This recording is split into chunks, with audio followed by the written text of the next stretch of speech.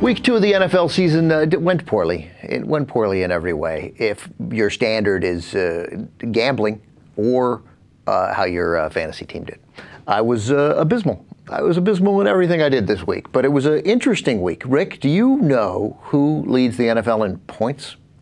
In points? Yeah. Who? What team has scored the most points? The Bills? The Buffalo freaking Bills, not the Patriots who scored 100 points against the Dolphins and then 85 more against the uh, San Diego Chargers. The Bills have 79 points. They lead the league in scoring. I think the uh, I don't even think uh, who's second. Detroit is second at 75. The Patriots third at 73, and the Packers at 72. Still Those, early. Still early. No, no, obviously. I don't think at the end of the year, a guy, a team whose quarterback went to Harvard is going to lead the league in points. I'll give everyone who works here a $1,000 if that happens. Why if, you got to go after the Harvard guy?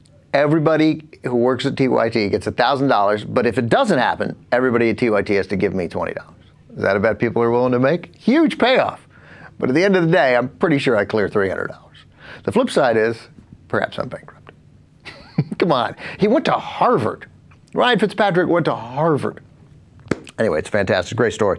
So uh, here's a couple other things about the Bills because I did some some look at the, of the, the the Bills have the worst names of any team with of skill position players. How, here's why the Bills will never lead the league in scoring. Okay, their quarterback went to Harvard, and their best players are named Steve Johnson, Fred Jackson, and David Nelson. Okay, those are guys who like I went to grammar school with. Those are not NFL players. The Bills cannot be expected to lead the league in scoring unless they trade for someone like Jacquizz Rodgers. That's a name. Fred Jackson is not the name of a talented NFL running back, but Fred Jackson is so good. My God, I love watching Fred Jackson. He is so cool. You know where Fred Jackson went to college? Rick, I didn't. I had to look this up. I didn't know it, and this is proof that you never watch Bills games because if you'd seen a Bills games, you'd know. Do you know where Fred Jackson went to college? Isn't it like some Division three school? Yeah, he went to Coe College. Coe College. It's in I think Cedar Rapids, Iowa. It's a Division three school.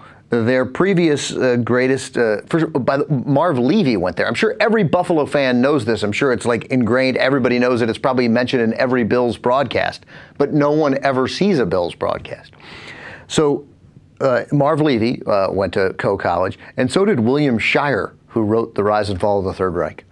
There you go.